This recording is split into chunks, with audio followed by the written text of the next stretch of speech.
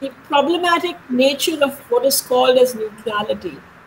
See, when you when you don't see the discrimination you practice because you're supposedly being, uh, you know, what is it called, being even-handed, where that even-handedness is uh, situated is something that we very often do not critically look at.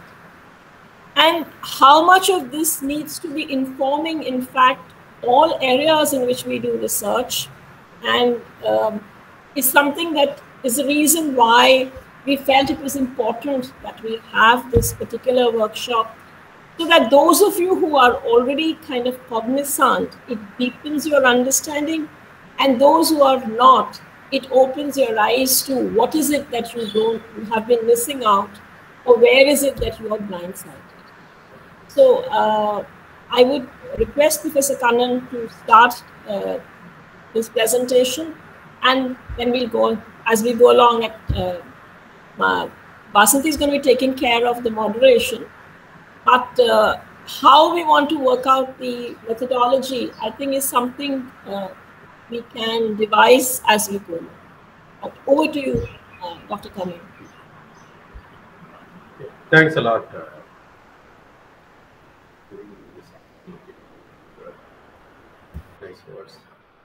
Um, uh, I'm audible.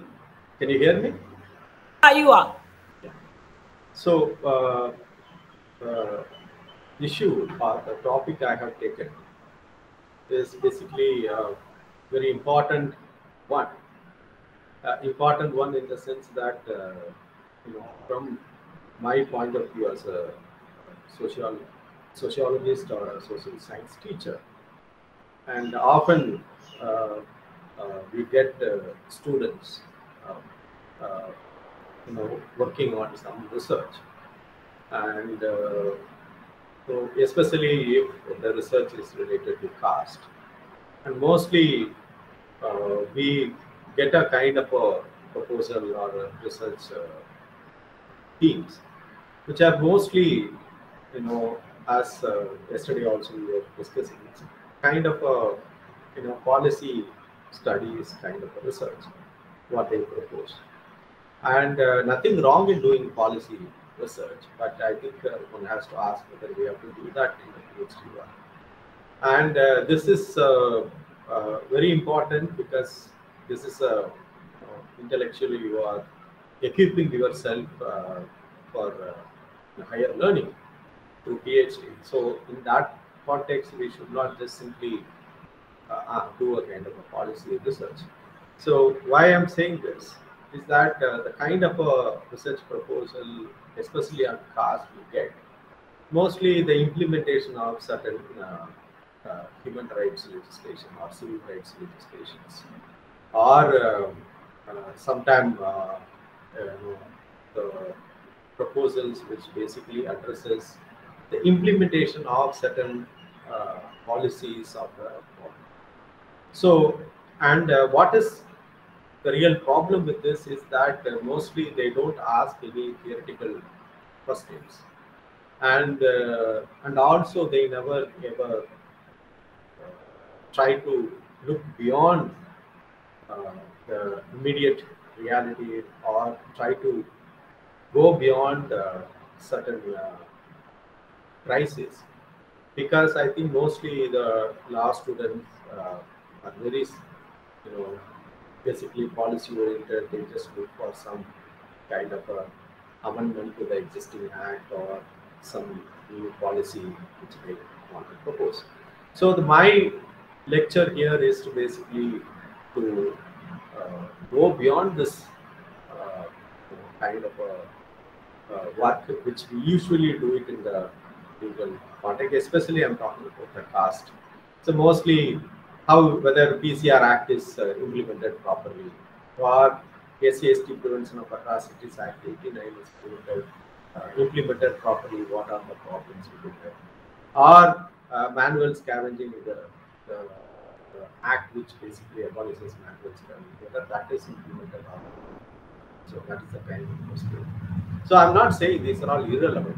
I'm saying uh, we have to ask some uh, questions or some theoretical questions by making this as a you know we have to uh, in a sense uh, uh, bring certain kind of complexities in asking questions. So that is the kind of uh, foregrounding I am doing for this lecture. So when we say law uh, and uh, social justice, I'm trying to discuss this recognition and that framework. So when we usually look at uh, this law and social justice or law leading to social justice, basically what we have in mind is uh, the three important normative notions equality, dignity, and autonomy. So these are the three important notions, uh, maybe notions which are falling under this uh, kind of a broad category. Mostly we are addressing this. And uh, when we look at this as an important notions, normative notions uh, to understand social justice, in the context of caste, I, in, you know, I'm trying to understand only the caste, in the, not in the caste system in general, but I'm trying to under, understand Dalit identity, Dalit question, and probably if you want to extend that to the other backward classes. So, so in that context, we are discussing this. So when we say the legal intervention in these issues, as I said, that we have a provision of uh, you know, the Protection of Civil Rights Act, and then the SCST Prevention of Atrocities Act, then the manual uh, abolition of manual scavenging legislation.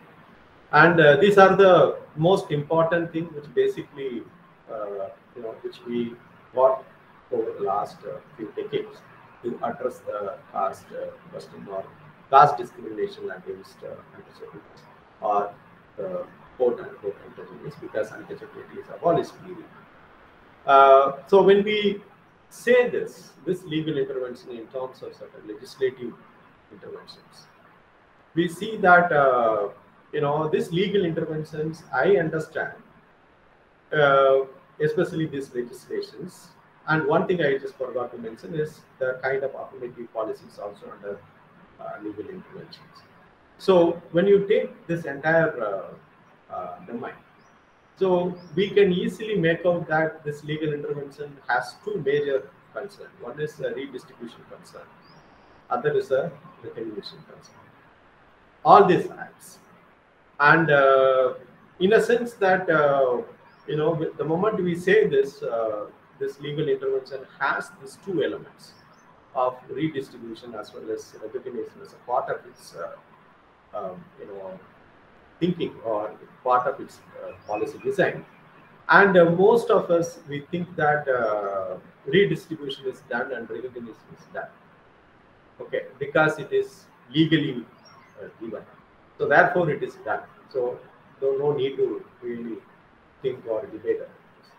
But in my view, as this, whether it's a redistribution or recognition, it, in my view, it's a kind of a dual process dual process in a sense. Why I'm saying this, uh, you know, this recognition and redistribution is continuously fought and continuously fought and retained by the Dalits and. And uh, otherwise, this uh, the legally given idea of redistribution and recognition is always compromised in the civil society as well as, uh, particularly, I'm uh, you know, targeting the judiciary. In the recent past, you might have seen whatever the you know cases, people go to the Supreme Court or High Court on reservations. Invariably, we don't get any kind of a very favorable uh, verdict for the marginalized, and mostly they think in terms of uh, you know uh, in terms of uh, merit, in terms of uh, you know they say that you know we are um, you know, we have to really question our constitutional commitment to reservation. And the government also, one after another, they are continuously going to Supreme Court and altering this commitment. Especially, we have to look at this economically, you know, uh, so economic, uh, you know, this EWS, economic weaker section. um. So this economic resection question, where, where will they take? Because uh, they say that we have only 50% reservation with can allow, but uh, this uh, this 10% is within that 50%. If it is within that 50%, it will affect the OBCs and SCs and SCs. And if it is beyond that, then they themselves violating their own uh, decision of 50% maximum. So there, there are many problems within. So when we look at this, and my view is whether it's a redistribution or recognition, is not actually given by any system, legal system. There is an effort on the part of the state to do that. But it, I think the people who are, you know, engaging with this are continuously fighting with the system, continuously engaging with the system, and they retain this notions of redistribution, not just given like by the state policy. But large number of studies, uh, legal studies, uh, are done only to understand the failures of uh, implementation of these acts, and uh, mostly, you know, most of the studies which I have read, which I have, uh, you know, you know, you know just read this for teaching my undergraduate courses. But mostly I think it is basically the implementation problems, the failures. And they don't ask real, uh, they don't ask any theoretical question or they don't have any philosophical questions engage with. So in this, what I'm trying to uh, basically do here is that uh, by bringing this entire theoretical debate on recognition and redistribution in the West, and not much done in India. But of course, uh, Indian scholars also participated in this. But uh, it is originated basically among the, uh, the Western. Kannan, could you speak a little louder? Uh, yeah. Is it uh, is it clear, madam? Yeah, this is better. Okay.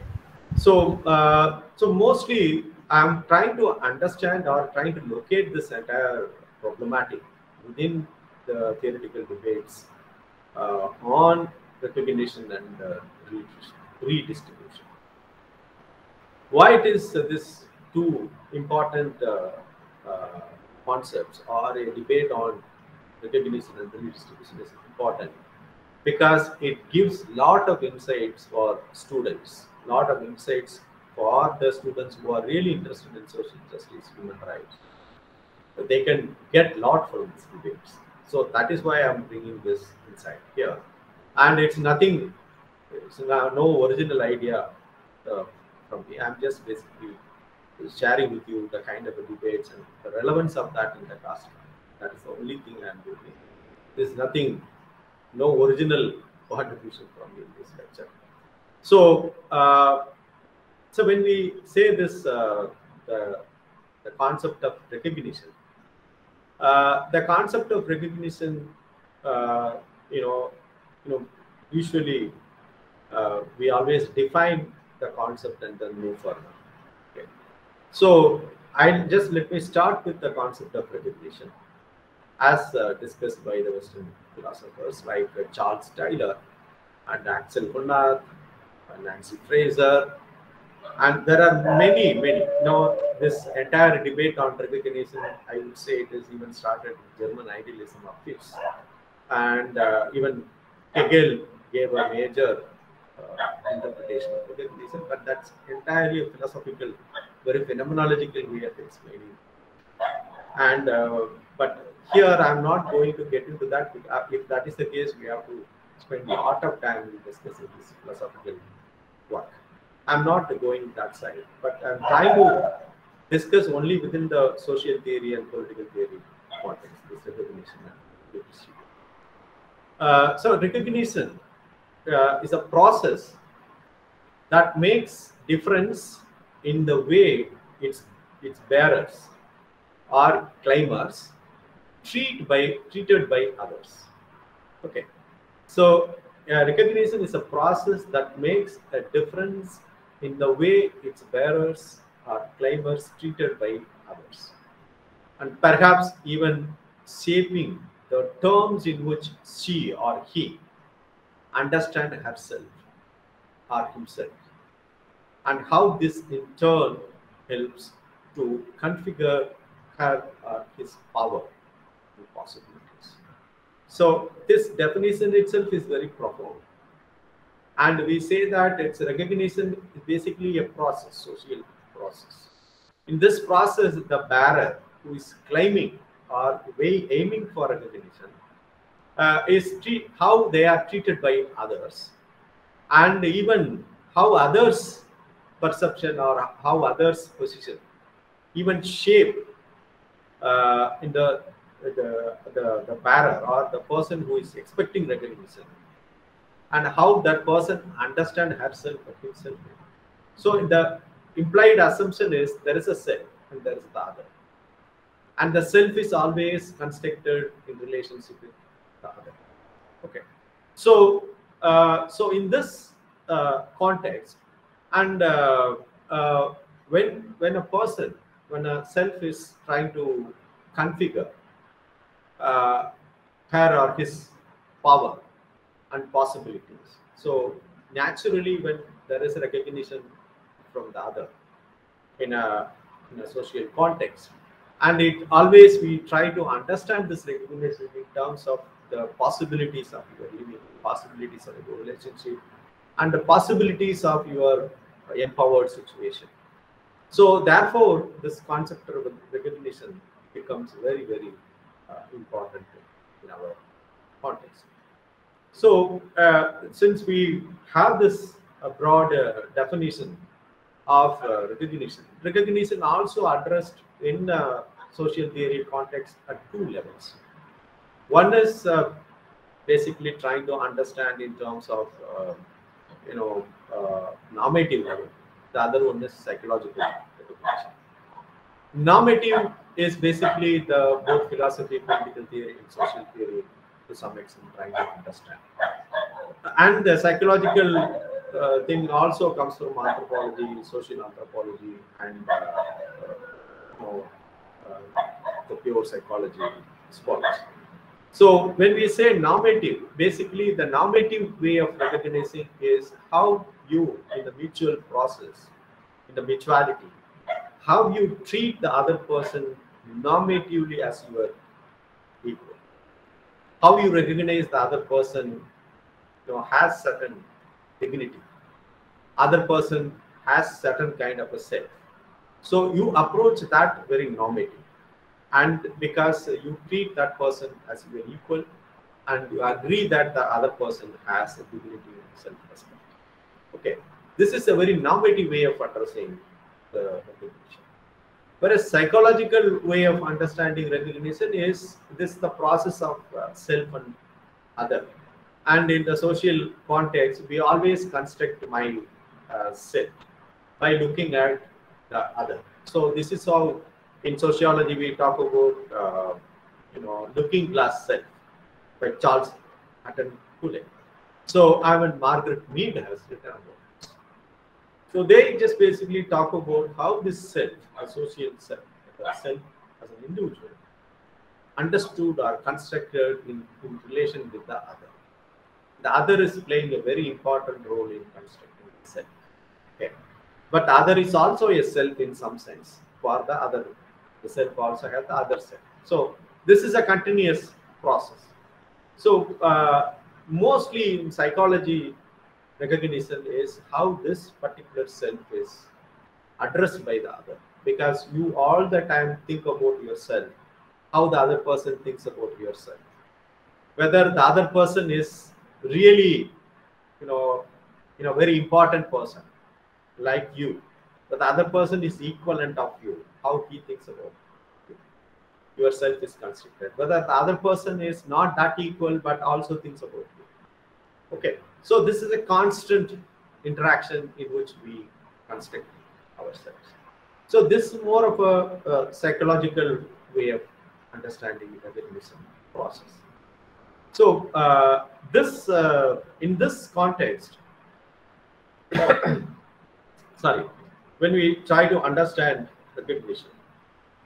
The understanding of uh, recognition, in a sense, has served a connecting point between broad philosophical inquiries about the realization of freedom and intersubjectivity. Okay.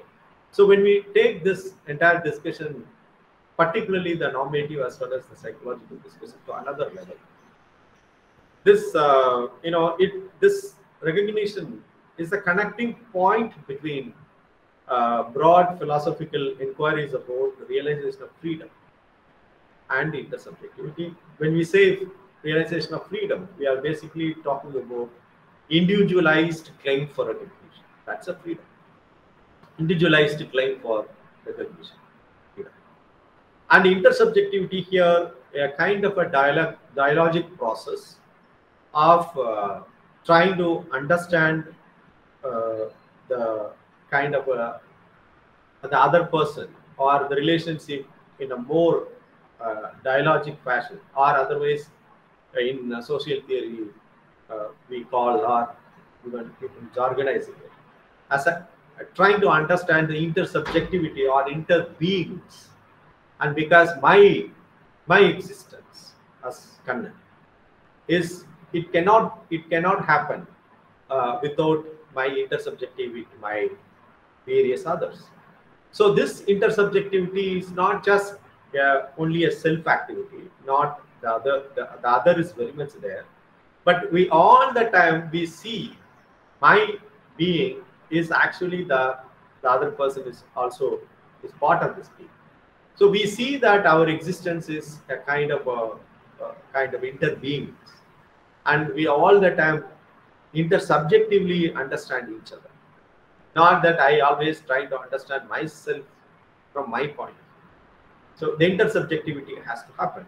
So in that sense uh, you know this intersubjectivity is uh, basically trying to uh, understand uh, the recognition gives you to understand these two kind of things freedom and intersubjectivity.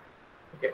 So this idea of intersubjectivity you look at closely these uh, issues were brought up in various contexts like education issue education whether and uh, whether uh, the entire the researchers uh, done in the west about education attainment of the black children white children.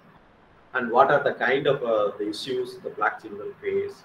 And uh, especially the official language policy issues we talk about the recognition so we have in india we have the constant problem of uh, official language policy because you have a, yes, a government a state which basically tries to understand uh, language in terms of one single language for the entire uh, nation thereby in a sense uh, it, it's kind of a misrecognition technically of the other languages, other linguistic uh, communities in Indian context or in any other uh.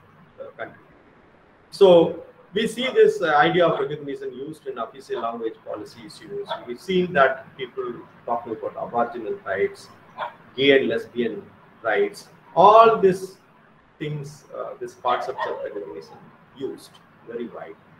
So therefore, it is very important to understand the recognition concept in the caste context also, in the context of how the social justice is ensured by law, how this deals with this recognition and also redistribution. That is what uh, we are uh, trying to do here. Sorry.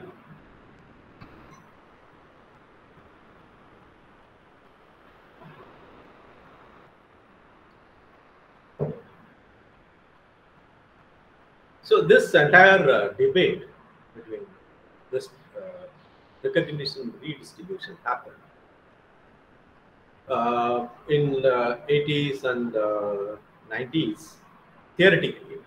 But I think this entire uh, thing on recognition redistribution, in my view, started even in the 60s in Europe. Because the entire group who insisted only on identity, identity, gay and lesbian feminist women. So in the 60s, uh, th that that was the point of uh, time to talk about. That is where this entire theoretical debate emerged. And uh, but though it emerged at that point of time, it uh, gets some kind of a consolidation or it's solidified in the 80s and 80s. We have uh, great thinkers reflecting on this uh, issue of recognition, identity, uh, politics. So, what was the basic concern or tension? Is that uh, you know, in a sense, uh, you know, what we see this the entire political spectrum, the entire political domain. There was a fear from the traditional, uh, traditional in a sense that radical, traditional radical political actors like Marxist, and uh, they had a fear that this entire identity claims, the identity uh, formation or the claims of identity, group identity, collective identity, or individual identity, is in a sense uh, taking over. You know, in a sense, it is it, it takes away the marginalized uh, uh, from addressing the real problem of inequality. People are more interested in, in identity politics rather than addressing the inequality in the economic and economic economic domain, most political domain also. So Marxists were highly suspicious of this entire tendency of because it, the entire political movement is just push uh, to, to, the other side, and uh, so they started responding to this movement, social movement, I think 60s and 70s, and the result is that you got a, you, you started getting theories and uh, concepts in the 80s uh, to various postmodernist writings.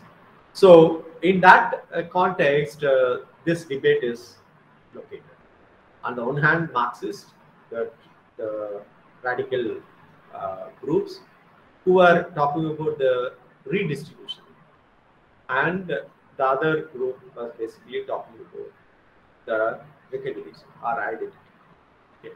So, this this is the uh, issue which we are uh, discussing here. Uh, the debate basically between recognition and redistribution. More broadly between the problem of identity based injustice and the problem of economic injustice to put it in another way. The debate is broadly between the problem of identity based injustice. Injustice can be addressed in terms of your identity also it's not just merely mere inequality in the economic domain. And therefore, the problem of economic injustice is a concern of the redistribution uh, debate. And uh, the identity based injustice becomes central to recognition. Okay. okay. So, this, this is the, uh, the broader concern they had when they started the debate. So when we say this, the uses, the uses of recognition, and especially there are two important uh, documents predicted uh, uh, which uh, provoked uh, a recent surge of interest in the idea of recognition. This one is uh, Charles Taylor's work in 1994, The Politics of Recognition, and also he has written even before that, or I think the sources of self. So philosophically, he's a communitarian philosopher. Charles Taylor's work in the politics of recognition. And the other one is uh, from a Frankfurt School critical theory called a student of Jürgen Habermas called Axel Honneth, H-O-N-N-E-T-H, Axel A-X-E-L, Axel Honneth, and his uh, uh, like uh, book or article. And later it was given as a Tanner's lecture also, very important uh, lecture. And uh, it's called The Struggle for Recognition.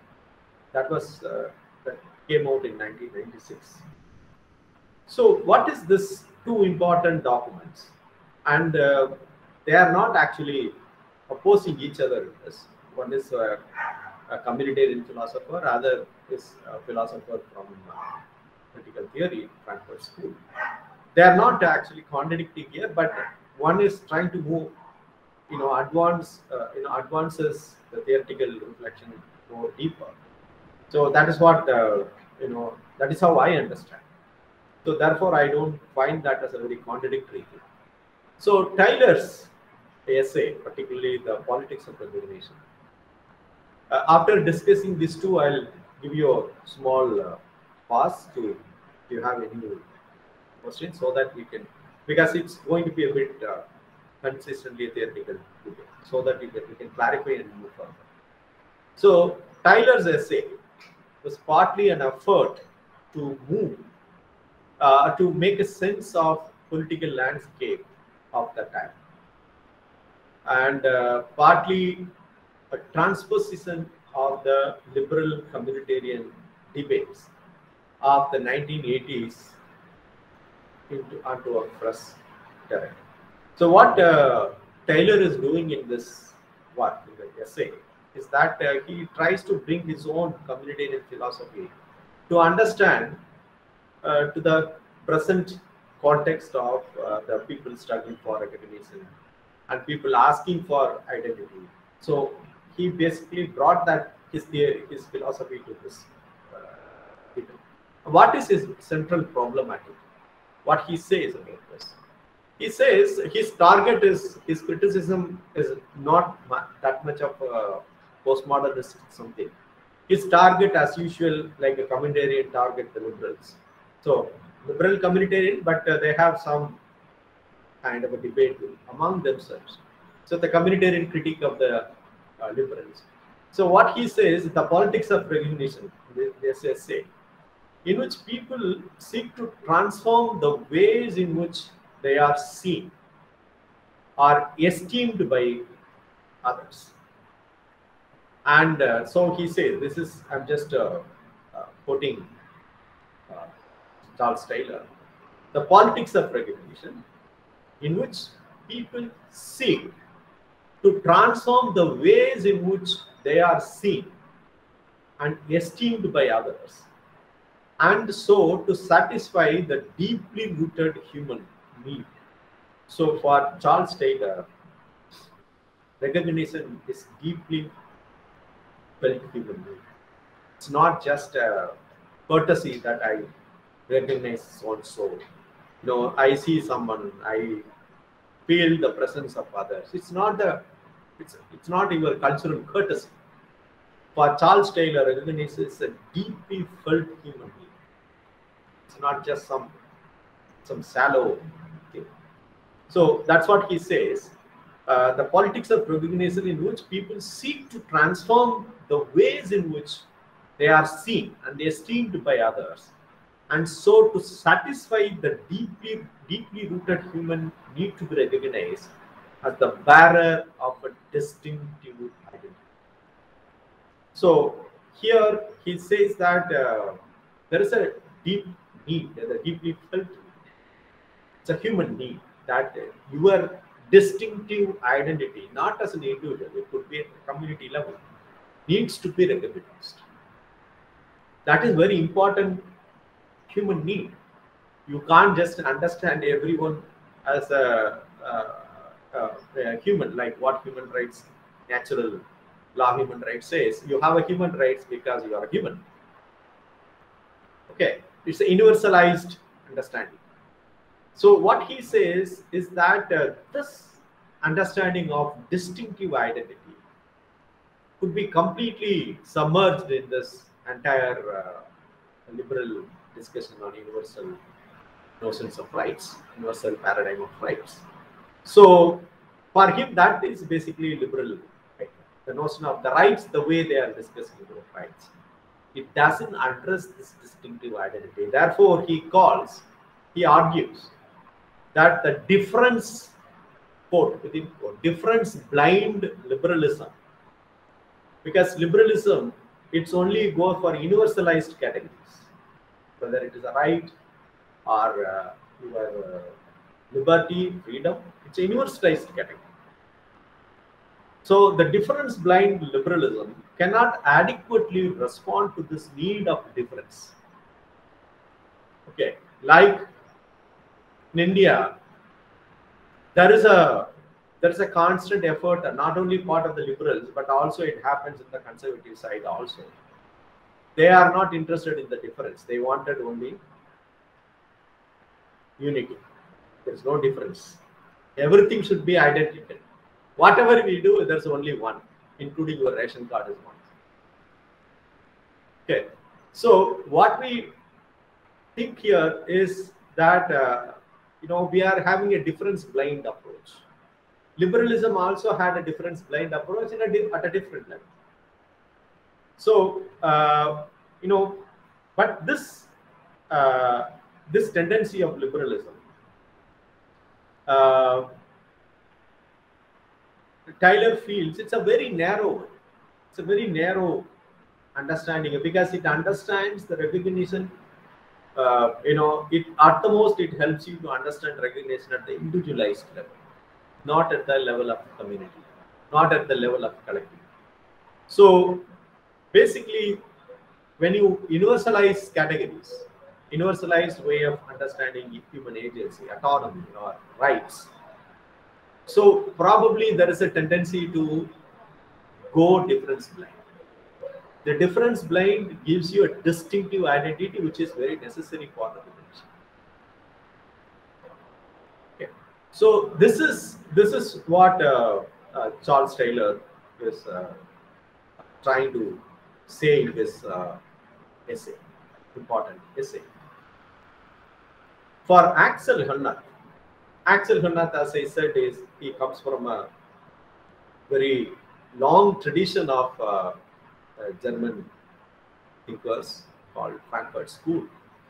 And uh, he basically tries to bring both Hegel as well as Margaret Mead in his work. Both normative as well as psychological thing he tries to bring. But his major hold is Hegelian. But uh, you know, for uh, for some, you know, if, if if it's necessary, we will go to Hegel. But otherwise, it's not necessary for me to discuss here. What uh, basically he tries to do in his work.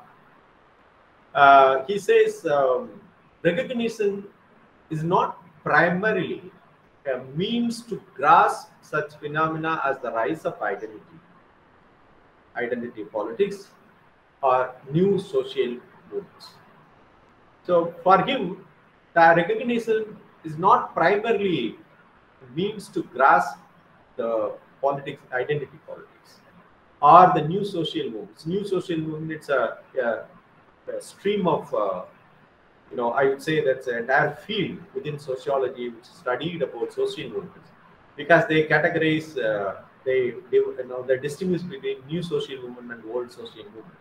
Old social movements are basically class-based and uh, mostly, you know, it's not actually talking in terms of any uh, you know localized understanding of uh, issues. It is always the old social movements for the universal uh, thing. So in that context, so what we see here is that Axel Honneth is not actually moving towards that.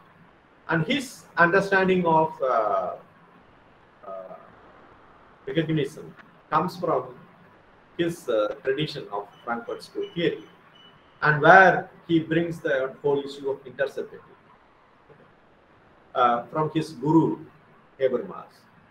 And uh, on, on account, injustice is felt in the first instance not as the transgression of an explicit linguistic norm, but as a denial of intersubjectivity recognition that violently disrupts subject relationship to herself.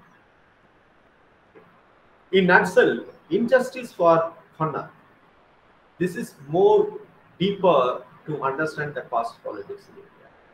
So what he says, injustice is is, is felt in the in the first instance not as a transgression of explicit linguistic norm, but as a denial of intersubjective recognition so when the intersubjectivity recognition is violently disrupted, the subject it, it disrupts the subject, the self, relationship to the self itself. And uh, you know this interruption, this kind of disruption uh, can affect the subject relationship to herself or himself, whether through uh, physical abuse. Physical abuse, we see that uh, Dalits are haunted every day. Women are haunted every day. Okay, so this kind of a physical abuse, it's basically very violently disrupts the intersubjectivity of that human in relating with the other. And when that is done, that is injustice for him. He is not discussing injustice in terms of historical injustice. Okay, that is the problem with uh, Axel Honneth paradigm. The historical injustice, you know, when you talk about injustice which is violently disrupting now in your in your context, this also this violent disruption also happens in our society because of historical reasons. We still treat uh, Dalits, Dalit women particularly as uh, as a not at all a human. You know, we treat at an inhuman level, and uh, you know, even I very often I say this in my lecture when I did a project for NLS uh, Bangalore that when Dalit women go to police station to give a complaint that they are uh, they are sexually abused, the police paper uh, person says uh, that okay, what is wrong? It's so natural to your community. It's so natural. There's nothing wrong with people abusing, sexually abusing you. That's a physical abuse of someone, and it violently disrupts the self relationship with the self. So this is injustice for Axel Honneth, which basically disrupts the intersubjectivity relationship on constructs over a period of time. Okay, and uh, so it, it, can happen through this physical use or the refusal of basic moral, uh, the refusal of basic moral respect to legal protection. Classic example is India. We have utter respect for legal protection of Dalits and very openly government of India saying there is no manual scavenging, there is no manual scavenging death in India. And very often you see it in the press, people are, you know, people are dying or dead in the manhole, in the drainage. Okay, so this is utter, utter disregard for legal protection of the marginalized, and uh, you know sometimes we see that uh, denigration of individual or collective ways of life. In a sense, uh, if a community claims a solidarity and esteem, constantly work against that and demolish it. If community claims that we have a esteem, we are so good at this, but there is no recognition for it. Okay, so in that sense, what you see here is that uh, you know uh, the violent disruption happens to the cell. And the protection you know at three levels he is saying physical abuse is first level. Second level is uh, refusal of basic moral respect of uh, or legal protection. And third level denigration and individual collective ways of life. All the three happens in Dalits life and uh, so far, I have not come across any research which studied uh, SCST prevention of atroc atrocities act from this. Very often, what they do this this law is not implemented. Case is filed differently. So this is the usual study we come across because we don't ask theoretical questions. We don't have any categories to approach the very fertile field of law law is almost a centralized entity organizing our life nowadays, which is a bad thing for me. I don't agree with that. We our life should not be all the time regulated by law, but that is what happening now. Okay, so one has to ask certain questions, theoretical questions. I I look I locate this Axel Honneth idea of injustice, the way he defines injustice, it gives you my, you know, it's it's a you know, abundance of theoretical ideas to explore the agony, insult, humiliation that it's feel in Indian society. No law student is really interested. Okay. So there's a vast field, but no one is exploring it. Okay. So this is in nutshell Axel Honneth's idea of recognition. Recognition is, you know, when injustice happens at intersubjective level, it becomes a misrecognition. It's a usage in psychoanalysis, but here we're using it in a different way. So there's a misrecognition. So uh, misrecognition in the sense that uh, this there is a violent interruption, a dis disruption of your intersubjective belief. Okay. So at that level, he speaks of uh, recognition. You see how uh, these two philosophers are just, uh, you know, moving in a very, very in a deeper manner to address the idea of recognition. So there are many scholars who written on recognition. I'm just taking only these two, and uh, uh, I'll try to expand this idea further after taking a few questions. Otherwise, it becomes a bit heavy. I feel that we have to take uh, with the permission of uh, the Dhanda and uh, Dr. Vasanthi. Can I break for a few minutes? Take to take questions and go further. Yeah, yeah, sure. I'm sure we can do that. So, do people, because it's a smaller group, do people want to unmute themselves or if there is any difficulty unmuting yourself then uh, you can just type out a question in the box no i think it's better you ask question unmute yourself and ask because i have the cervical spondylosis problem can read the message no no no no no i will read out the messages i'm yeah. just saying if there are any candidates uh, who want to who are not able to speak out, then they can type and then I will look at the question. But if you're able to unmute yourself and uh, ask questions, because I think it's very important. I think what Dr. Kannan has been, uh, you know, uh, demonstrating, or actually, it's, it's it's a very useful insight because reading up all of this literature is so difficult. Uh, but being able to locate your research within these paradigms is also absolutely critical for anyone who's engaging with questions of social justice. So it's it would be very useful if you can ask the question so that uh, you know we can take this discussion further. So your questions don't have to be doubts about what he has already said. They could also be, you know, uh, just trying to see if you have understood him correctly. If, if this is what he's saying, I think that would be very useful.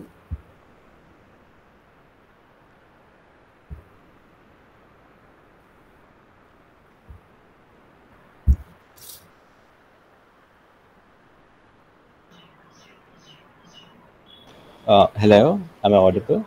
Yes, you're audible, Abhinit. Go ahead.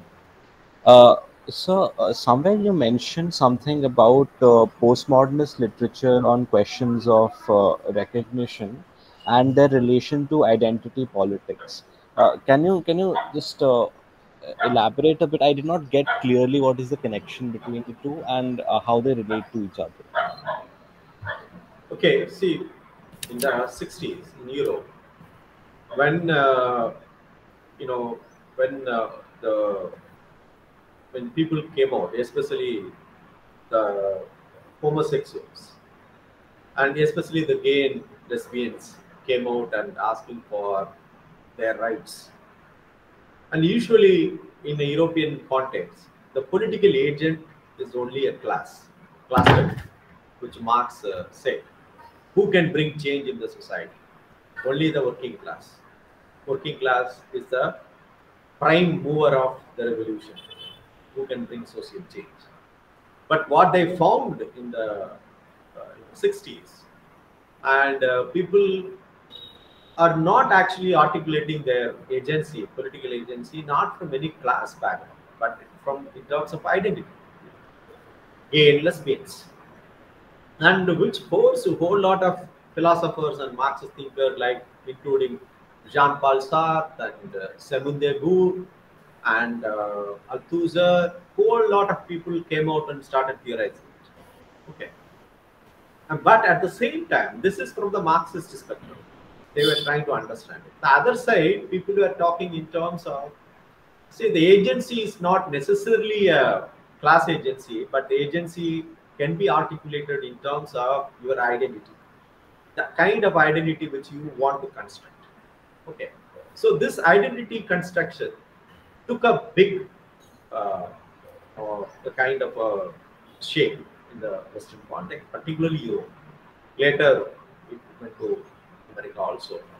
So these people started uh, theorizing this kind of a because they are saying that identity is not necessarily the same. Identity is different, multiple. So the black identity, black women identity is different from uh, the white women identity. Okay. So all identity differences came out very openly. So the whole lot of theorizing started happening that how this identity is so important to articulate one's agency. So in that sense, there is a debate between the Marxists who are saying inequality should be addressed, not uh, because identity is almost recognition. Identity, why people uh, asking of uh, their identity needs to be recognized legally and that happened almost after uh, five decades or six, six seven decades. Uh, in India, people are asking for identity. So you recognize the, you know, they, are going to Supreme Court asking to legally approve the uh, same-sex relationship, which happened much earlier in the West. Okay. So what you see, this identity claim for certain identity is a recognition, is a need felt need, a strong human need. Okay, like what Charles Taylor is saying. They are demanding their identity. It's a felt need. One cannot just simply ignore like what our Supreme Court did uh, when the Delhi High Court uh, Justice Muralidhar gave a favorable verdict and uh, which was stalled by the Supreme Court. Later, Supreme Court reversed its decision. That's a different story. But what we see how this identity claims when people ask for the recognition how it was dealt by the other here at the Supreme Court or larger civil society. So therefore the identity question and recognition are to some extent are interconnected. Uh, can you just repeat that last line? You're saying um, identity and uh, recognition are on the same spectrum, but uh, redistribution and recognition are seen as conflicting paradigms. Yeah. So because the conflicting paradigm, because uh, identity recognition was addressing only the cultural identities. You are kind of a, a political identity which doesn't have any connection to your economic, your economic uh, situation. So therefore, the redistribution paradigm is talking in terms of redistribution of the goods, redistribution of goods in terms of aiming for equality, like uh, many theories of justice we have within legal theory and political theory, talking in terms of uh, justice as a fairness of John Rawls. So we they talk in terms of you know sharing of you know in a sense equally sharing of burden as well as the benefit. That is the fairness. Okay. Here it is addressed in terms of goods, opportunities. That is a redistribution paradigm. Here it is only the identity paradigm. We want what we want. We don't bother about whether I am a Dalit or I am a Brahmin, but we want a women identity. Or we are whether we are a Dalit uh, or a Brahmin, we are lesbians. Doesn't matter. Or gay so this identity tries to, in a sense, uh, transcends social and economic. There is a possibility. That transcendence is objected by the Marxist and the people who are talking about But there is uh, some literature by Nancy Fraser. Yeah, yeah I'm coming. To, talks I'm about coming, huh, which talks about a possibility of you know addressing both, right? Yeah, yeah I'm coming to that later. Yeah. Yes.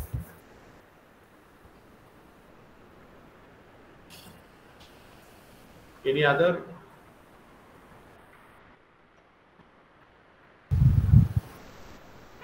I was just wondering, uh, Kannan, if you could. Uh, amplify a little bit more. There was one point at which you spoke about, uh, you know, starting to alter yourself in order to obtain recognition. You know, the way in which you present yourself uh, as a as a, a technique or a mechanism that people very often practice to obtain recognition. I just was wondering if you could elaborate a bit on that that point that you made. No, uh, uh, are you referring to this uh, Margaret Mead's idea, madam, psychological recognition? Yeah, yeah. I was just yeah. I, I, was just wanting. I mean, I because it caught my attention, so I was wondering if you could elaborate on that. Yeah, I think it is uh, what uh, this anthropologist, uh, particularly Margaret Mead, Ma before Margaret Mead, Charles uh, Tankule, not often mentioned in these writings, but is the original uh, scholar who framed came out with this looking glass self. Looking glass self is almost like what I'm doing now. I'm looking at my own uh, figure in the screen and talking to myself. This is a looking glass self. My self is formed. You know, in the same sense, the society is a glass for the other. There is a self. The self is always in interaction with the other. The other is the mirror and then you formulate yourself and make sure that uh, you know the other could be uh, at various levels. The other could be below your the self what the self thinks that below your divinity. And uh, or the, the other could be above you think that they are above you. So it can happen but in a some sense uh, the mutual recognition happens between the equals mutual recognition happens only among the equals. Okay. So the mutual recognition, if at all, if you want to have a mutual recognition, it, it's possible, mostly possible within the uh, uh, the people who are in the equal uh, state.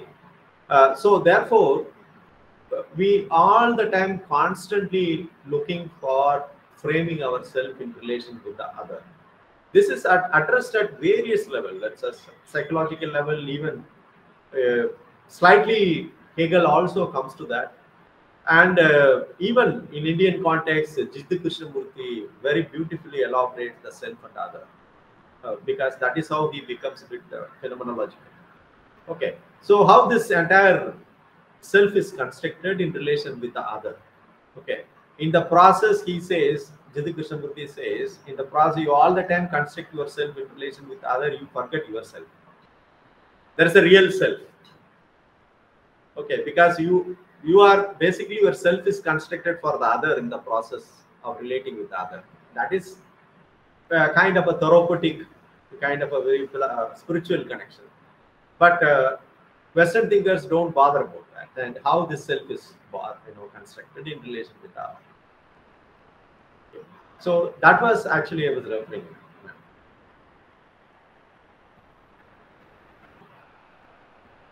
Please unmute yourself, madam. Uh, I, I thought that you shouldn't look at yourself, so I switched on my camera.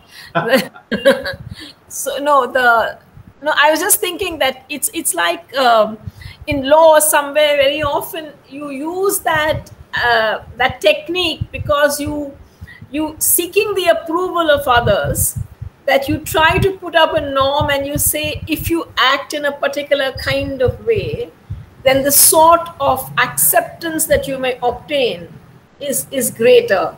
So i was i was actually trying to make that connection in my head and that's why i was asking and and also of course you do have you know where uh, i mean for us one major crisis of not having a rule of law society is because everybody who's considered to be powerful or all people of privilege believe that privilege means not to follow the law. You know, the, the first kind of thing is that if you are following the law, or you you kind of feel that you just have to follow it and there's no choice in the matter, then necessarily uh, you're you're somebody who's bottom of the line. Uh, it's and you know that has had a huge influence on us not being a law-abiding society. Because everybody feels that if i become if i'm really powerful then i can sort of you know brush aside whatever the law requires from me. I'm just ex- extrapolating from what you were saying there but i do think there's a very close connection on that one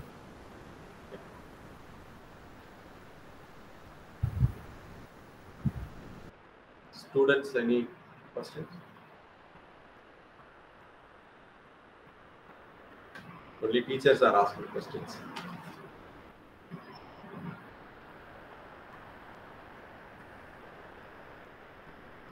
No, it's not so easy to formulate questions because what you have been talking about have been uh, are, are very very useful concepts, but it's it's not very easy to be able to you know uh, immediately uh, ask the question.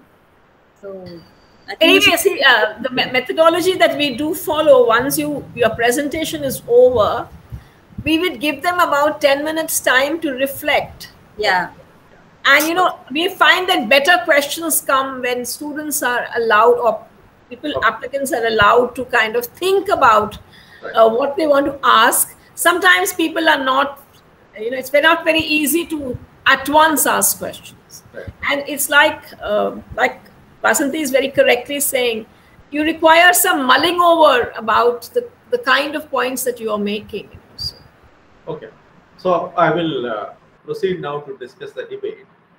Uh, uh, this is basically about the debate between. I would say that it's not a debate. One can call debate because uh, this is Nancy Fraser's very, very powerful response to this entire theories of recognition. Why I say it's a powerful thing was because uh, Nancy Fraser, the, the, the level at which she is trying to engage with this, and uh, the kind of a commitment, deep commitment she has to the emancipation of the marginalized. It, one can really understand why she is uh, she is uh, expressing all her agony and suffering to just to, to retain her own position. It's not just a mere cerebral. Nancy Fraser is not at all a cerebral thinker. There are others, but she is not that kind of a feminist. So I have a highest regard for Fraser. And uh, Fraser's uh, uh, basic point is that she found that there is an eclipse of socialist imaginary and the rise of uh, politics focused on identity and recognition. That's a, and she found that there is an there is an eclipse of socialist imaginary and uh, the rise of uh, politics focused on identity, identity and recognition. And basically, Fraser's writings in 1990s were basically investigating the conflicts that arise between the politics of recognition and the politics of redistribution. And uh, in the in the struggle against uh, cultural uh, injustice, the politics of recognition tends to promote the specificity of social groups, while the politics of redistribution frequently works to undermine such specificity. And uh, so, what she says in the the politics of recognition tends to promote the specificity of social groups, while the politics of redistribution is uh, frequently works to undermine such specificity. This is this is what I said. This is the kind of a response you get from Nancy Fraser as a kind of a critique of postmodernist feminism. See, what uh, Fraser, Nancy Fraser comes from a, a particular thinking. So when entire feminist movement started constructing a very, very powerful, uh, very consistent uh, agency all over the world, feminist movement. Suddenly, a group of scholars coming and saying that uh, no, the agency cannot be single, it should be multiple. So Dalit women agency is different from Brahmin women agency. Black women agency is different from white women agency. And uh, so the agencies are multiple, the identities are multiple.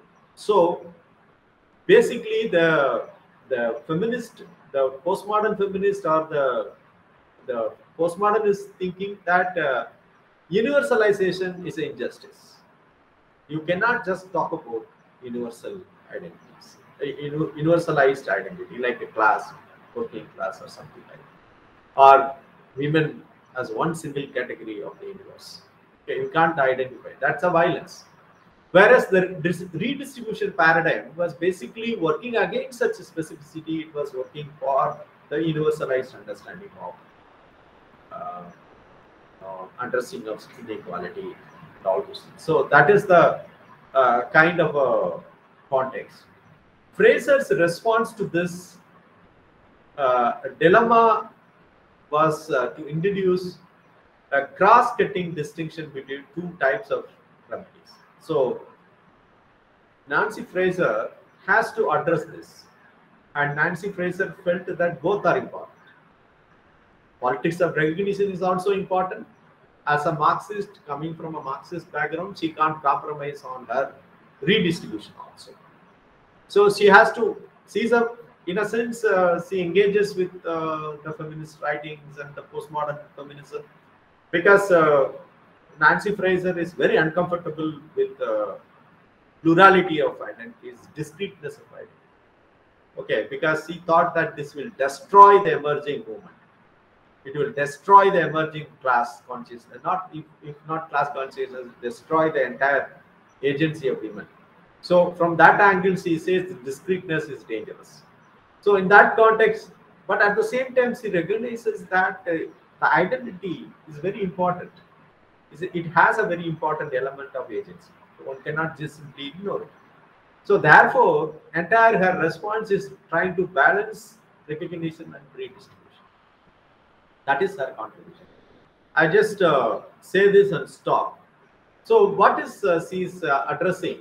So Fraser's res- response to this kind of a dilemma, redistribution or recognition. She introduced a category called cross-cutting distinction between two types. Uh, you know, especially her response to this is a cross-cutting uh, distinction. What is that cross-cutting distinction? Is uh, to understand injustice, whether it's a cultural or political or economical. She brought uh, the first thing is affirmative remedies.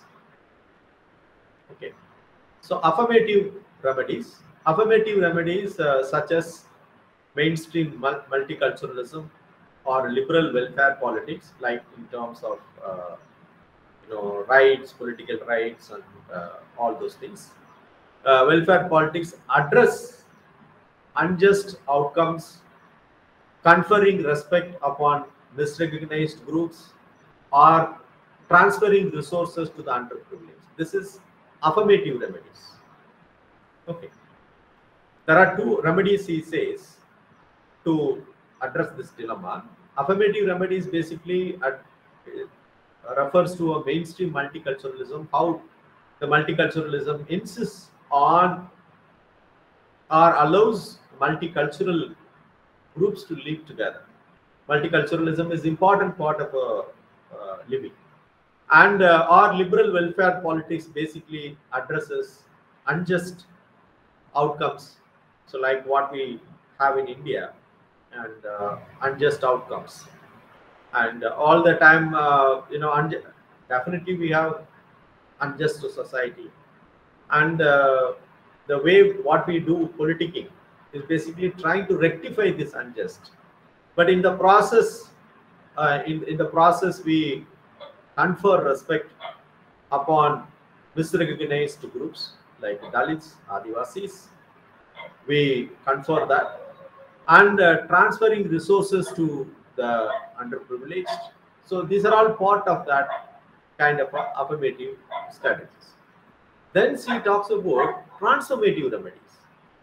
By contrast to the affirmative remedies, uh, affirmative remedies, by contrast, such as queer politics, queer politics or socialism, addresses address the underlying generative framework that gives rise to unjust conditions in the first place, destabilizing hierarchies of identity and fundamentally altering the relations of production. So the transformative remedies, he again she brings two here, recognition and redistribution. She says queer politics is politics of recognition and she brings socialism also. What she says here, underlying generative framework that gives rise to unjust conditions in the first place. So when people asking for rights, equal rights, when the when the queer movement is asking for a revolution? or the working class asking for equality, uh, socialism uh, trying to address that issue. What we need to understand what she says, this, you know, there is a condition which generates this unjust situation. And uh, the transformative remedies basically should address this, the conditions which generate this unjust situation and destabilize the hierarchies of identities.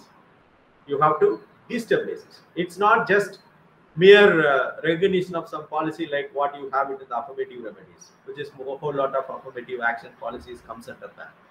Okay, she is talking about transformative identity, uh, remedies where one has to address the source of unjust, and the source of unjust needs to be addressed. How do we address destabilize the hierarchies of identities, fundamentally altering the relations of production?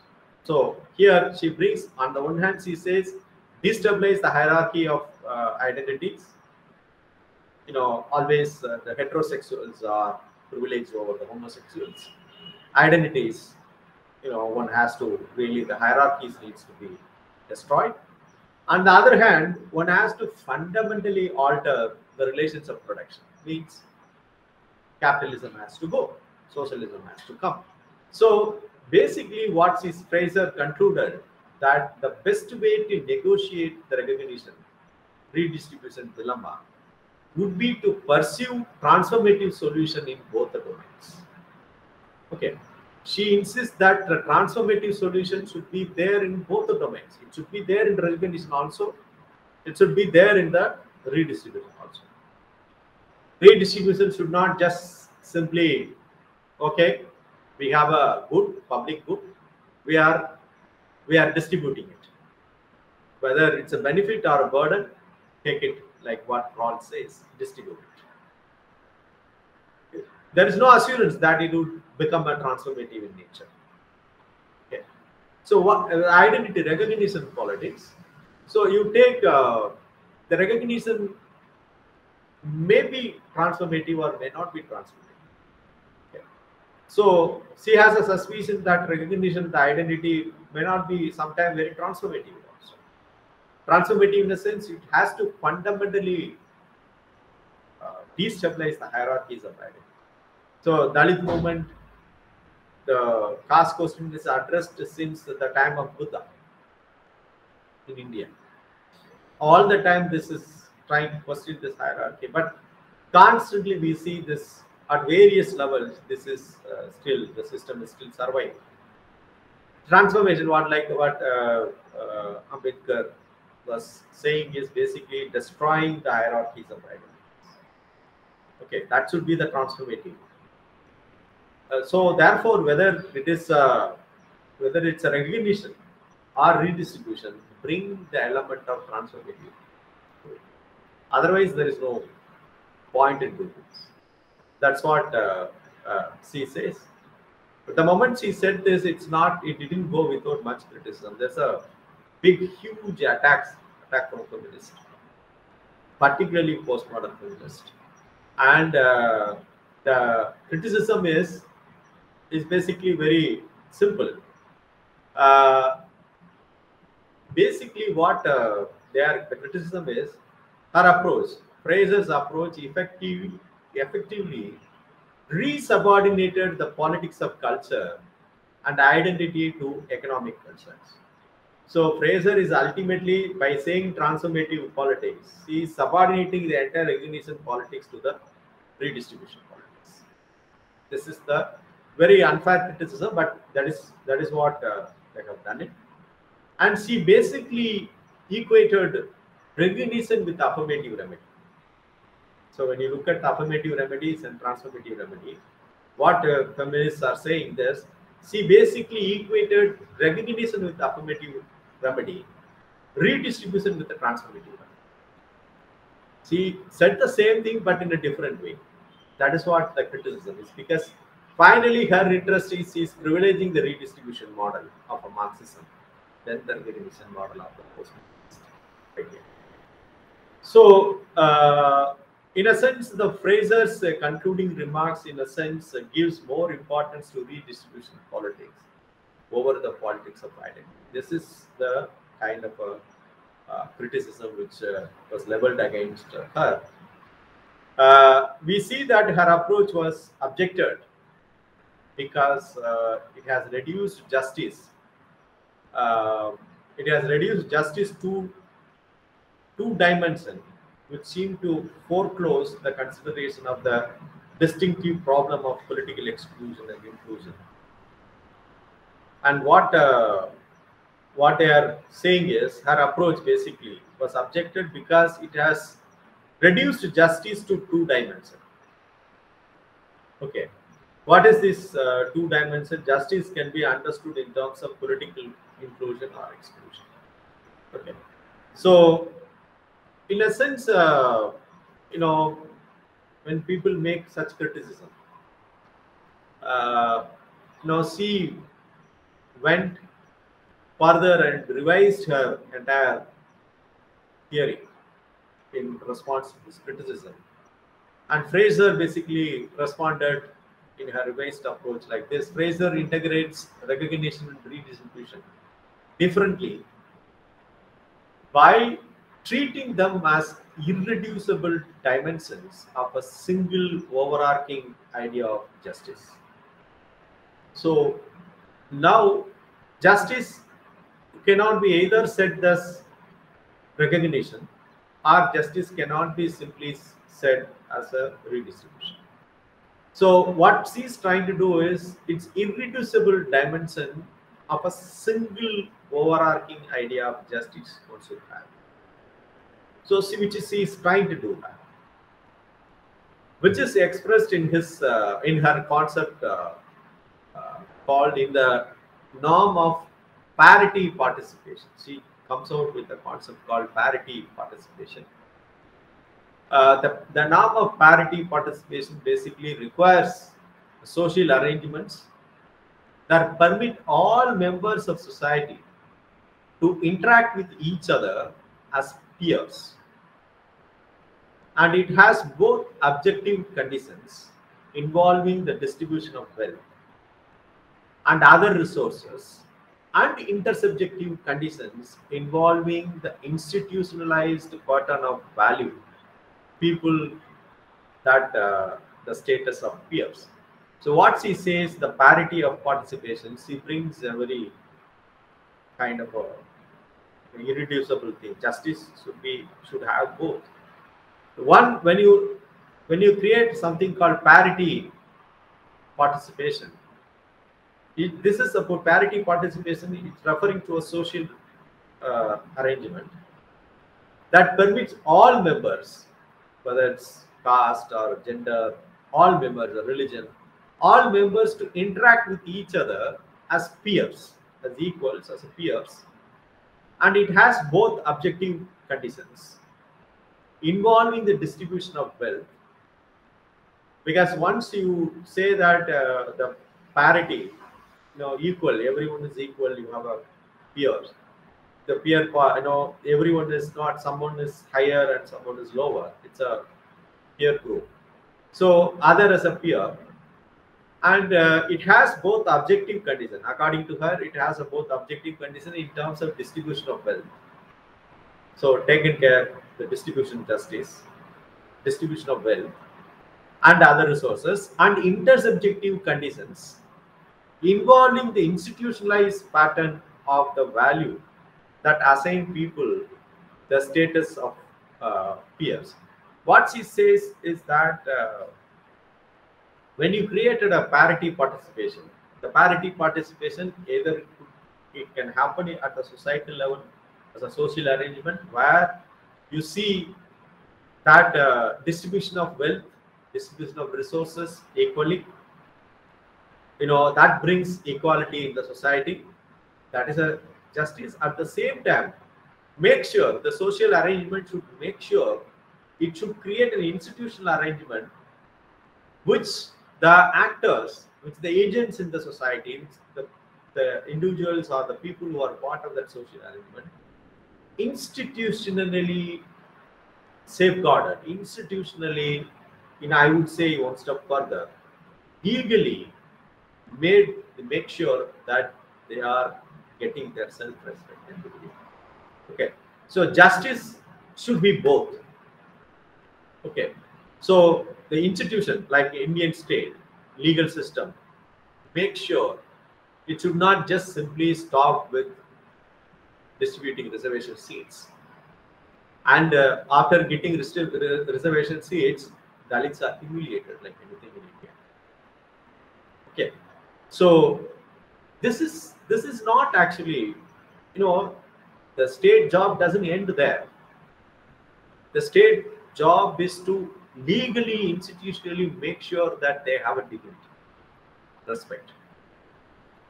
Okay, the parity participation she talks about, yeah, justice is both. One has to have the recognition, feel that they are being recognized, not ill-treated. At the same time, they have to get the resource also from the system. Otherwise, they can't just survive. That is the justice says finally talking in terms of parity participation. So the par parity participation is the final solution. She gave the response to them saying that she is not just merely privileging redistribution of goods, redistributive paradigm, but also concerned about the recognition. So a system where you see objectively the resources are distributed, a system where objectively, institutionally, the digni dignity, autonomy, integrity of individuals and communities are taken care of. That is the parity participation. That is justice work. That is Nancy Fraser's final response to this entire critiques. There ends, in some sense, the debate. Debate followed. There many others responded to that also, but I am stopping to take uh, questions. Thanks. So uh, we can take a five minute break. Break, yeah, sure. Yeah. Uh, and I'll, we'll give students time to think about their questions and put it out. Sure, sure. We'll, we'll come back in. So it's right. about 11.57 by 12, 3, 12, 5 maybe. We will come back. Right, fine. Yeah. And all the participants, please put in your questions there can be questions about your own uh, work. There can be questions about how you can use what has been presented. Um, you can think about how you would want to engage with this whole uh, paradigm that uh, Dr. Kannan has given us. Uh, please type in your questions. So we will come back at 12.5 and we will take these questions. I also wanted to add that it will be good if you sort of uh, Hello. Terms of participation, so it is like uh, you know whether the whole issue of uh, recognition redistribution are, are to be addressed only by researchers who are explicitly working in that field, or need to be somewhere uh, you know dwelled upon and worried about by irrespective of where you are doing your research I do think there is a universal relevance to what Professor Kannan is saying and it would be worthwhile if we also somewhat, you know, like I would say agitate on it or cogitate on it. It would be uh, it will be useful at several levels. Dr. Kannan, can we get back?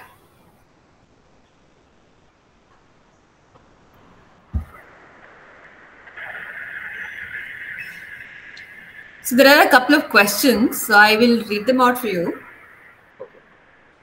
So the first question is uh, to deal with the problem of caste. One of the points stated to address the question, the source of injustice. If the source of injustice lies in religion, how should one approach it? Does any of the authors make any reference to religion?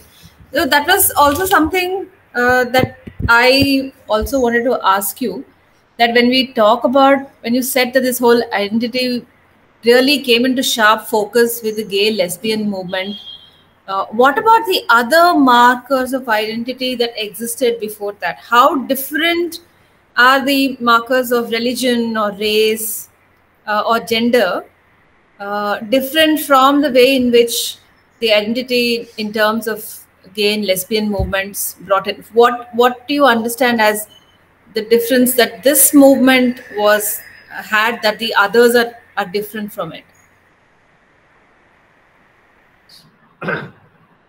so uh, the, about the source of the first question uh, basically the obviously the source of uh, caste oppression caste system is religion and uh, there are uh, many uh, scholars written about it uh, that the source of uh, caste oppression is religious sanctions or religious justification. There's no doubt about that. We don't have to uh, think uh, that much deeply. It's very, very obvious thing. And but uh, how to really, you know, address that? people differ addressing the source. Gandhi addressed it differently, Ambedkar addressed it differently, religion. Western scholars addressed uh, the source of uh, uh, oppression differently, especially in the context of gender question. But in the West, it's not just mostly the source of oppression is not just mere religion, but also capitalism that led to the oppression. Whereas in Indian context, when it comes to caste system, mostly the source of oppression, most of the Ambedkar followers, Ambedkar thinkers, tend to say that the source of, if religion, Hindu religion is not there, then there, is, there won't be caste system. That is uh, the kind of a theorizing uh, they do. And uh, to greater extent, that is true also. I, I have no disagreements with them. But at the same time, the caste oppression also has certain class connotation also. Okay, because what we found in India, most of the uh, large number of Dalits are the landless laborers. Large number of them are migrant laborers. Large number of them are bonded laborers. Mostly, mostly Adivasis and Dalits are this major chunk. So the source of oppression, it's it's uh, by just merely talking about Hindu religion. It's, that is the main culprit. But also we have to should not stop with that then because the source of oppression lies the political economy also. So that is a kind of a Marxist reading of uh, caste system. Uh, you know, scholars have reflected on this, not just me. There, there are many have reflected on this. Uh, but though we know the source of uh, oppression, injustice, but what transformative politics we are doing, no idea. How far the state is uh, helping in the transformative, whether it's really helping the transformative politics or it is uh, creating more troubles for the marginalized. We all know that what is happening in the real situation. So that is my response to the first one. And uh, uh, Western thinkers have not uh, written much about whoever written on caste in India, their concern was different rather than just addressing this in terms of uh, trying to find the source. Okay. So that is a that's a different uh, level of uh, understanding. What Dr. Vasanti is uh, saying that the difference between the identity claims in the past and the, in the pre, uh, I would say that early modern and the post 60s. See, uh, even in the early modern context, also people were uh, talking about uh, their identities and uh, they were looking for recognition. But only the difference is that uh, the identity at that point of time. Uh, mostly, uh, you know, in a sense, either it was they were trying to articulate through some other medium, like uh, the black identity mostly articulated along with class lines, like what I'm saying, class identity should be articulated on the class line, and or you just uh, uh, try to uh, look at identity in terms of certain universalistic paradigm. Okay, like you have universal human rights paradigm. That's a early modern way of addressing the racial question or various other uh, questions. They had a universalist paradigm. Uh, or in the postmodern language, uh, they were talking all this is a meta narrative. Okay. So, in the postmodernist, what they are saying, these identities are highly fragmented in nature, identities are highly local in nature. It cannot be universalized, it cannot be completely, uh, you know, uh, seen as it has certain kind of a grand narrative of history. It's not that. So that is where we see the subaltern history in India here. Subaltern history is not about some long narration of history. It's a very moments. The moments are taken as part of historiography, not necessarily a grand narrative of history. So what the postmodernists were basically saying this identity is very, very local in nature, very specific in nature, it's very context specific in nature and uh, so therefore this uh, so when, when we talk about lesbian or gay uh, movement or lgbtq uh, you know after that i'm not sure what added recently. So what we see here there are uh, you know universalist articulation in this. There are highly localized articulations. When you talk about transgender people talk about upper caste transgender and lower caste. Muslim versus Hindu transgender, privilege versus. So you see the multipleness of So the intersectionalities, that's a new usage they found. Okay, so that is something which is very new in terms of how you position politically position yourself. In the earlier context, it was different in terms of articulation of your identity in terms of universalist characters. That is the difference.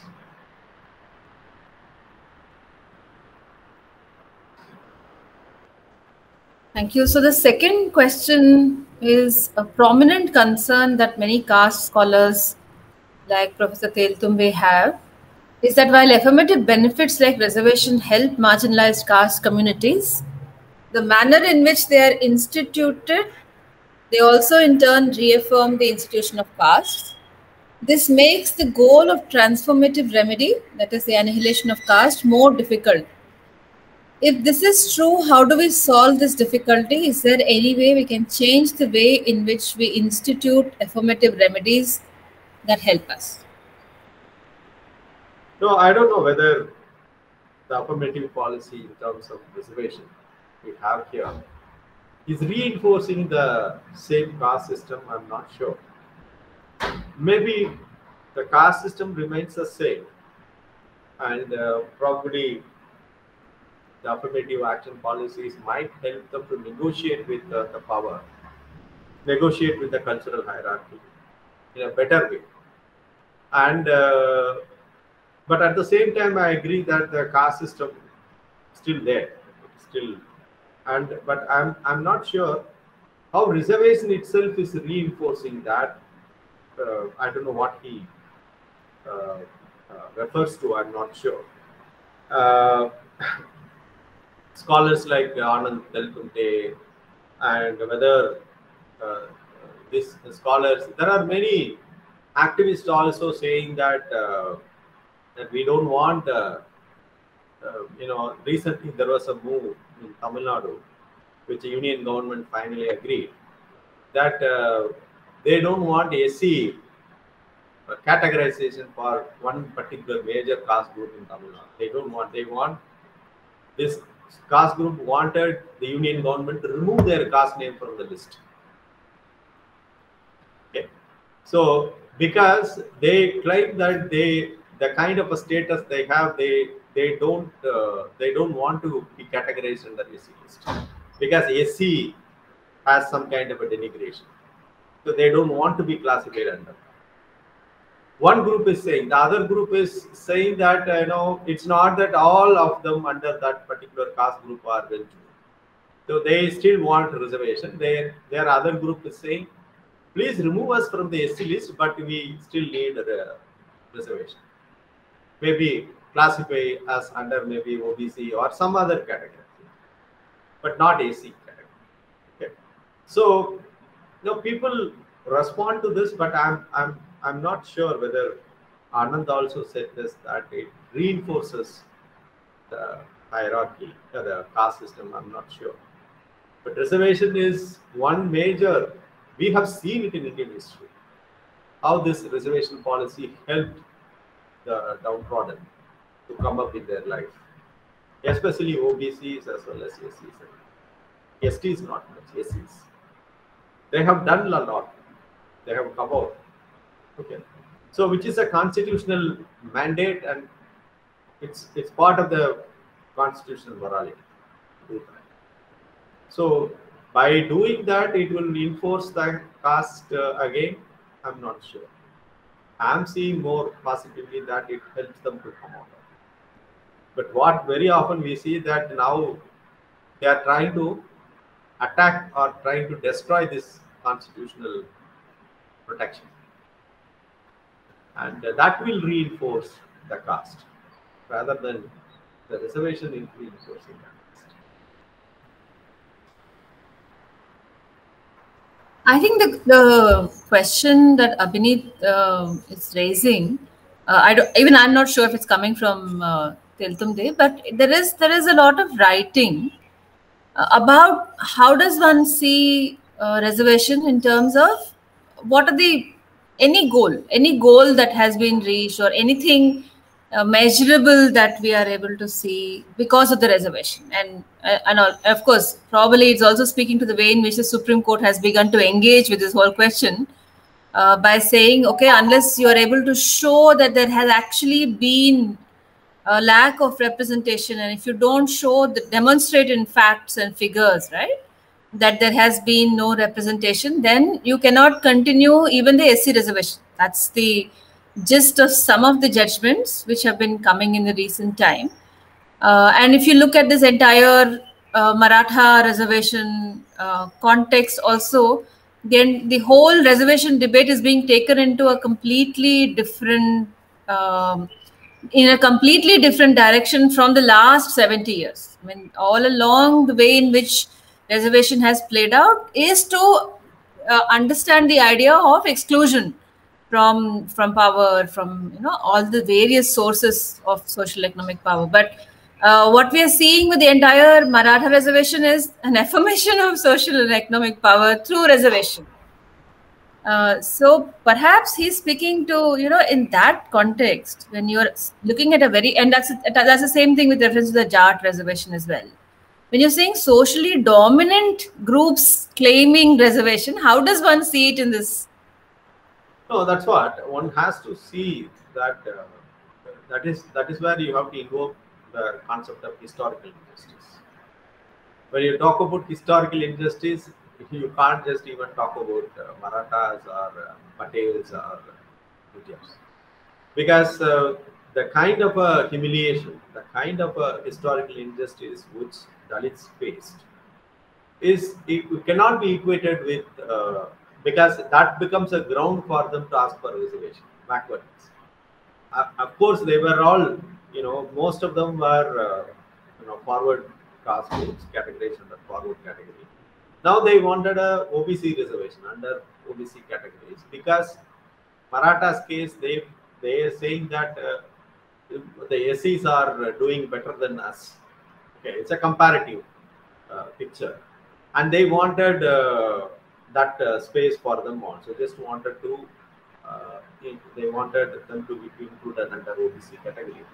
But I think it is uh, it is natural because once uh, you feel in, in, a, in a political context how you really you know distribute the uh, public good like uh, benefits reservation benefits so definitely the some caste will think that uh, their their resources are taken away and given to somebody else.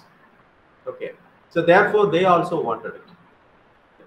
So and but what uh, if the Supreme Court insists on uh, taking a very, you know, we'll take a do a data collection, how far we reached in this, how you know, efficient we are, or how where we failed, all these things, and then uh, we say, okay, we have done enough for uh, the, therefore we stop uh, reservation. So if they proceed on those lines, the judges have absolutely no idea of Indian society. The judges have absolutely no idea of what is historical justice. If they just to just simply go by the data, they will do the great injustice to marginalized. That for sure will happen. Okay. So therefore, I'm I'm I'm of the opinion that uh, it is in a political spect you know domain it is very normal to you know climb a public good which is distributed because the other group feels that they are they have become uh, unequals when the whole system is introduced to address the inequality and they are claiming that their resources are taken away so they also wanted something. So it's quite natural for the caste groups to claim that. But uh, the state the political civil society has to address that at a different level. And uh, you know in some in some uh, government uh, state governments are willing to include them under obc if that is the case the major chunk say for example if uh, the uh, marathas are included under obc category of maharashtra they are numerically more in number they will take they will demand the more it becomes a very caste specific reservation rather than the category specific reservation. They will take away the most. Okay. So that is a big headache for the state. So I don't know how, I have no ready made solution for this. This is what happening in Tamil Nadu also. They have given reservation for one year, 10.5% reservation now under the OBC. They are the numerically dominant community in the north. If they get 10%, what else what is left for the other caste groups very all there are many caste groups in smaller numbers they will not uh, get much so again these people will fight again okay. so i think the reservation is a site of political consciousness reservation is a site of negotiating justice and it's very difficult to give one final solution at one point of time it has to be always reinvented it has to be addressed politically uh, at every stage. That's what I would say because there is no final solution for this.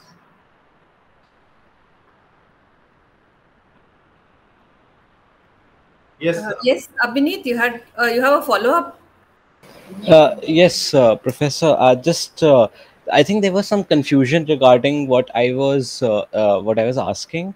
So if if we have the time, can I just read a short paragraph from Teltumbde which sort of raises the question which I'm talking about? Yes, please go ahead. Okay, so uh, Professor, this is from uh, Professor Teltumbde's Republic of Caste, and the paragraph goes like this: uh, the introduction of the book. Uh, the only motive with which Ambedkar wanted to enter the Constitutional Assembly was to uh, was to preserve the safeguards he had earned for the Dalits. Reservations comprised a major part of these.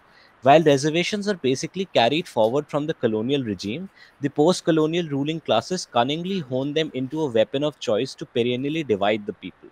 Reservations became the pretext to conserve caste in the constitution. The biggest cost the Dalits have paid for the short term gains of reservation is the compromise of their long term goal of annihilation of caste. The opening chapter, Reservations, A Spark and the Blaze, demonstrates how it has become a weapon in the hands of the ruling classes. It does not automatically mean that they are inherently bad and should be discarded. The test of my argument is that even if Dalits were to demand their scrapping, the ruling classes would never let it happen. Again, it is important to remember that it is one thing to use them while knowing that they are a trap, and quite another to treat them as heaven sent solutions to a historical adversity. The cost of reservation far exceeds its benefits. So, Professor, this is the part. Uh, Yeah. So I understood. That's what I was uh, trying to tell you. See, one sees the caste reservation as a trap. Okay. So what uh, Professor uh, Teltumbde is saying that uh, reservation has created some kind of a dependency on the state. So that is my major criticism against uh, Dalit's uh, entire identity is depending on the state. Okay, so because uh, your entire human rights paradigm is actually you have to articulate your political agency within the human rights paradigm. So entire Dalit identity is predicated on the identity, the the legal categories of rights, human rights. Okay, is there any other way of addressing Dalit identity? What what we see is over a period of time, reservation. You know, it's true that uh, you know he wanted uh, uh, Dr. Ambedkar wanted it for some time. It should not be, you know, after some time it should not create a stumbling block to oppose the caste system or annihilation of caste. It is perpetuating the caste. That's what uh, you know the quote from Ambedkar he gives. No, it is true, and in that context, it is it has created some kind of a trap and dependency on the state for one's own uh, emancipation. But uh, see this you know if one has to really do a very realistic assessment okay whether the the idea which with uh, uh, dr ambedkar said that whether we reached that point in terms of achieving know, you know addressing some of the inequalities in, in the uh, economic and political and cultural domain one has to do a very fair assessment and then say that uh, it should come from them. It should come from them that okay we have achieved this you uh, know there is one has to question this paradigm of reservation because it number one it is creating a dependency on the state. Number two through this we are prevented from addressing the source of oppression that is the annihilation of the caste system itself. So i'm i'm saying basically the way dalits understand caste is not they understand caste mainly to annihilate the caste, not perpetuate the caste. They want caste identity. Dalits, they say that we are uh, uh, Charma or Paraya Pulaya. They assert their caste not because they wanted a caste system to perpetuate. The identity of caste in them is acting as a kind of an agency okay in this case uh, uh, dalits asserting their own uh, caste. Uh, one doesn't have to see that uh, you know it is basically it will prevent them from addressing the caste system itself. I'm i'm not sure i'm not sure because one has to really think one has to have a realistic assessment about this. I'm theoretically i am with uh, professor tumde saying that it is it created a he at least he says in the context of reservation in my phd work i said that entire dalit identity it's predicated on human rights so therefore the human rights movement dalit movement has become a human rights movement it it articulates its identity only within the state paradigm so where is so like i took marx karl marx's help in from jewish question of marx saying that political emancipation is not human emancipation. What Marx said. So you might get your political emancipation in terms of getting civil and political right, but that will not lead to human emancipation. So said same thing Ambedkar said in a different context, in a different thing. Okay. So one has to work towards human emancipation rather than the political emancipation. That was that was my in my thesis I have argued. The same thing is said in a different context. Okay. So theoretically I'm with him, but practically is it really perpetuating uh, the caste system? or it will not you know it, this is the right time to completely break away from this? I'm not sure. I'm not sure. I, I still see a lot of people need uh, to come up. One has to do uh, a good survey and one has to do a all india study which is a very difficult thing in indian context to do it but if it comes from them now I'm saying them means if the Dalits come out and say that this is the symbol of, uh, no, it is the system itself is perpetuating, then we should we should do that. Till that point, uh, the others should not uh, talk about. It. That's what my position is. Since uh, Tumde is uh, Dalit intellectual, he says there is a validity, I have never seen others saying this.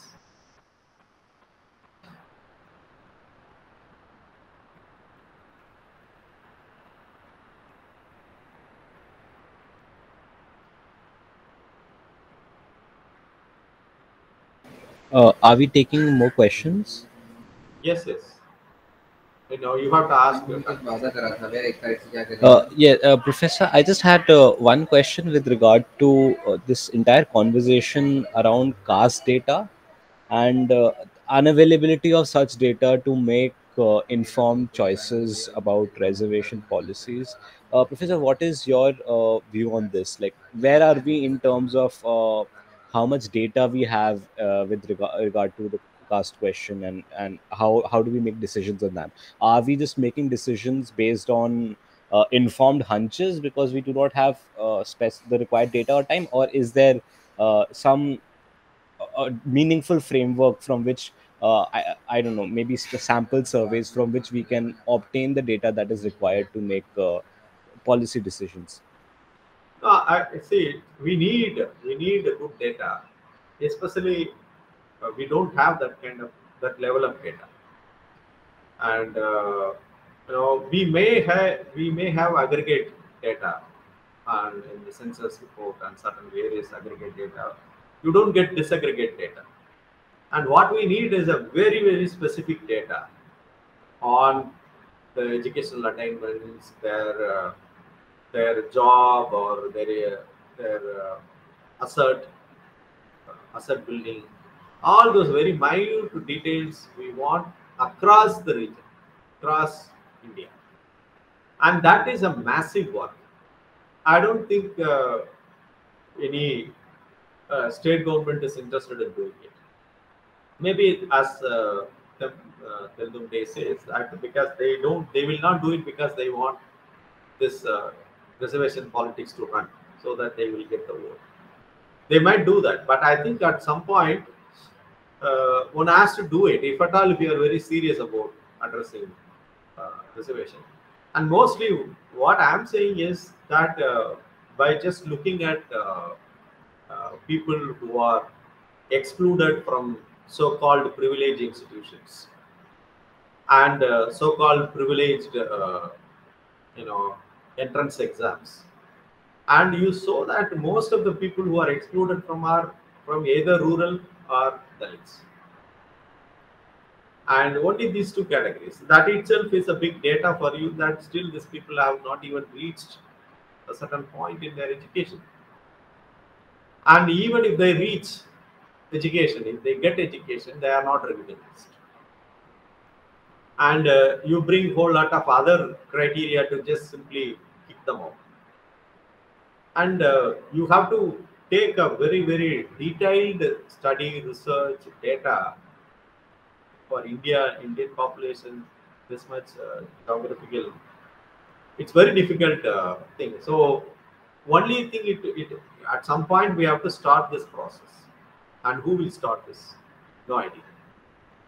And uh, what we are saying, most of the uh, scholars who are working on caste inequality are saying still we see inequalities. Okay. In terms of access to education, access to justice, access to uh, health, still there is inequality.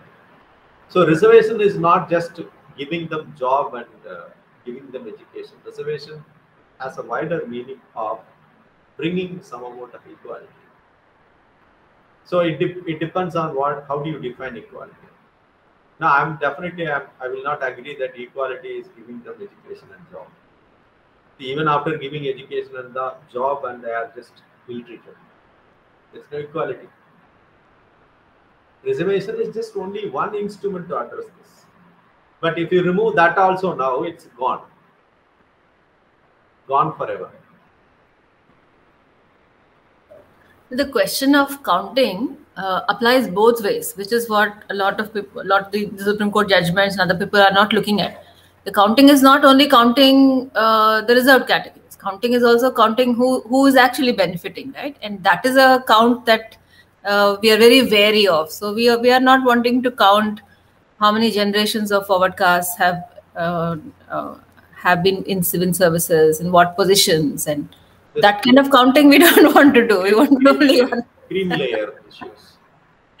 So we are not looking at the other kind of counting. We want to do only one kind of counting. So if we're saying data, the data has to be for everyone. No? Yeah. So it is not applicable for Brahmins. Exactly. so we're not going to count how many Brahmins are in what services, in what positions, and where they are. Even on Brahmins, even the non-Brahmin upper caste. Yeah. But we are we are uh, because there's a I don't know if you've seen this, but there's a plea in the Supreme Court saying that the entire Sachar committee, which had done this whole counting business with reference to Muslims, is unconstitutional. So we are we don't want to count also. I mean, so at one level where we have done the counting for one huge group, we are saying that that is that was a entirely wrong exercise. And even there they were not given data in terms of the army and the police. The data was simply not collected. The data was only collected for other for other employments in other areas. And even that we are trying to on one hand that is a data that we don't want to use. And then we say that there is no data on this and we don't know how to collect data on this you had that resistance even in relation to the census no? Where, yeah. where they wanted to bring in the whole category of caste and it was said oh no just to even find out where we are is being casteist so and you know at, it, it, it's like uh, when you have that kind of uh, i suppose endemic uh, systemic discrimination it's not going to be something which is going to be easily allowed to be uh, destructured or removed. And I think I mean Kannan has a very valid point that you know when uh, it's the point which uh, Professor Teltumbde is making. It's like you can he can make it as a Dalit scholar, but if you otherwise try to make it, the number of people who would say yes, yes, yes, reservation should go. So the one symbolic thing also you're doing goes, and nothing else also happens. So the movement needs to be, it, this has to be an initiative which has to come internally. And I, I agree that, you know, uh, but the point I'm, uh, you know, like uh, Vasanti's point about counting privilege is one. The other aspect is also, I think, how much of recognition privilege needs to have of its own privilege. You know, you want to talk in terms of reservations and you want to talk about discrimination but you don't want to talk about like how you are uh, you know kind of each of us in our own way are reinforcing that institution. That was where i felt that this talk had a larger relevance for you know what is the kind of research that we do um, what sort of topics we register and not just in terms of you know frontal issues where caste is taken frontally but how it is like embedded in virtually everything you do. for me that was that's that's very very important and each of us needs i mean every one of us is not conscious of it. You're not even conscious of the extent of privilege that you just take for granted. And uh, some level of uh, to, to borrow the word it, it's a different kind of recognition but it's a recognition which i think is needed. You know so that's that's how i would at least situate today's discussion. Both ways you know like it needs to be seen. Because unless and until it comes both ways we don't really move forward in in a robust conversation kind of stuff. So are we done vasanthi or we have questions? No i think we don't have any other questions here but of course we can ask if any of the participants wants to unmute themselves and ask any question. It's an open house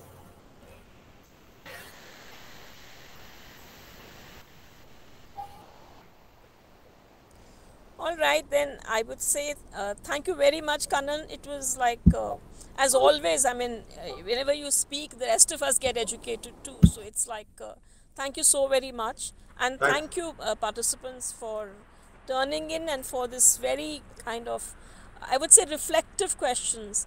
Abhijit, especially, I mean, your questions and your discussion is very welcome. So thank you very, very much. Uh, we are continuing with the series and we have talking in terms of researching corporations in the the next talk which has been happening on the 7th of August.